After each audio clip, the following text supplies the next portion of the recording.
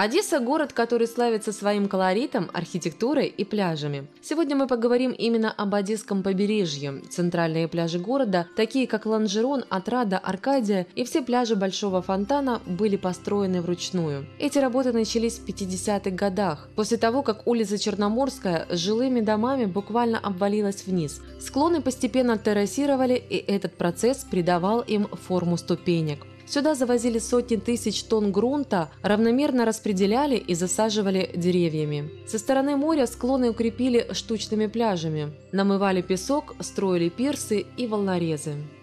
Мы разработали, институт наш, Одесса Коммунпроект, разработал две схемы укрепления морского побережья Украинской ССР еще тогда, в те времена, включая и Крым. И вторая схема была 1992 году это была схема северо-западной части Черного моря, э, прибрежные зоны э, Одесская, Николаевская, Херсонская область. Совместная работа с Гепроградом, угу, Киевским угу, была и так далее.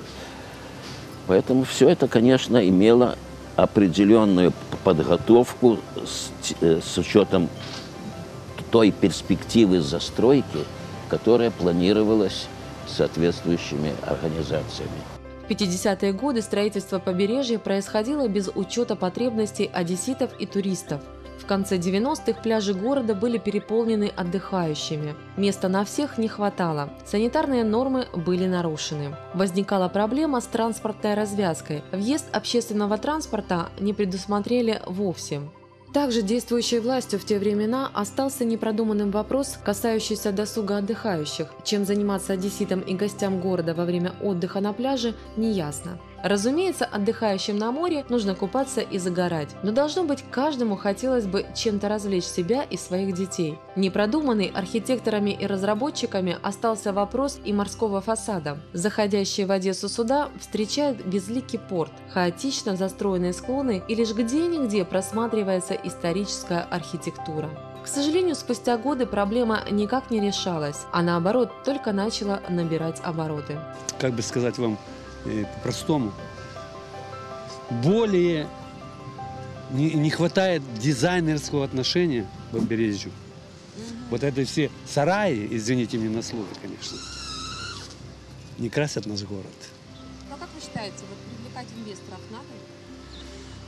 Я, я, я считаю, что инвесторов надо привлекать. Чтобы это был единый архитектура. Да, да, ну какой-то дизайн должен быть, быть какое-то лицо города, например. Вот центр города – это лицо города, да? А спальные районы у нас, грубо говоря.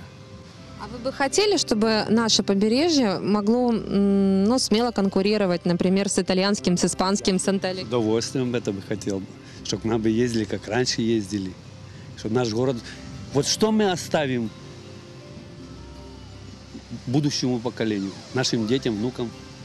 Проблем развития инфраструктуры Одесского побережья много, но самое главное – это берегоукрепление. Одесские склоны нуждаются в постоянном уходе. То, что строили 50-60 лет назад, разумеется, спасло Одессу от разрушений. Но сейчас, спустя годы, эти берегоукрепительные сооружения сами начинают разрушаться. Одна из основных проблем на склонах – это отсутствие или повреждение ливневок. В основном по всей территории Одесского побережья ливневые канализации пришли в негодность. Где-то они потрескались, где-то их смыло в море. А есть и такие места, где ливневки и вовсе не сделали. Дождями разрушается верхний покров склонов, что в последующем приводит к оползням. Дело в том, что на плато вы можете проложить ливневую канализацию, и она не деформируется на склонах, где идут непрерывные процессы деформации, ливневая канализация требует специальных решений. Как правило, они не выполняют.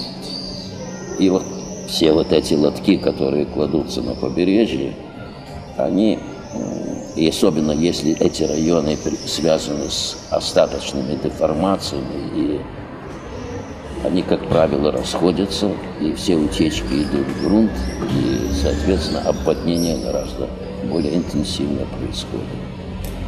Поэтому,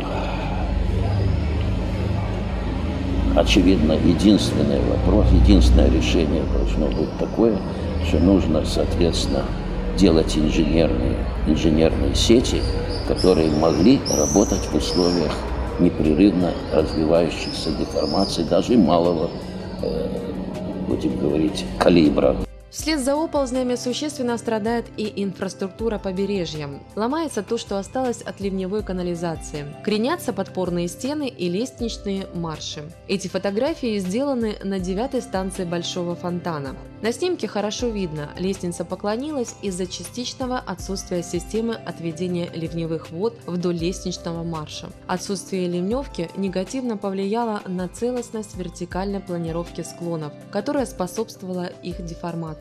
Из-за сломанной ливневой системы вымыло основание под элементами благоустройства, поэтому деформация лестничных маршей настолько сильна. По мнению экспертов, берег сползает в море из-за нарушения норм строительства и неподдержания сооружений должным образом.